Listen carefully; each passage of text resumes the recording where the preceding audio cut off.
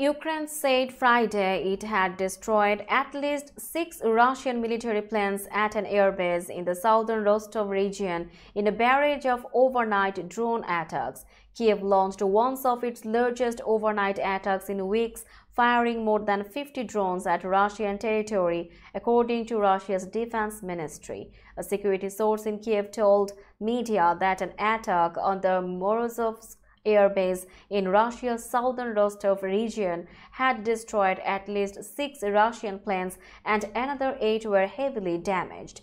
This is an important special operation that will significantly reduce the combat potential of the Russians, the source said, adding that the attack was carried out by the SBU security service and the military. There was no immediate response from Russia. Ukraine's Air Force meanwhile said Russia launched five missiles and 13 drones at its territory overnight. Kiev said it downed the 13 drones but did not say anything about the missiles which targeted the northeastern Kharkiv region.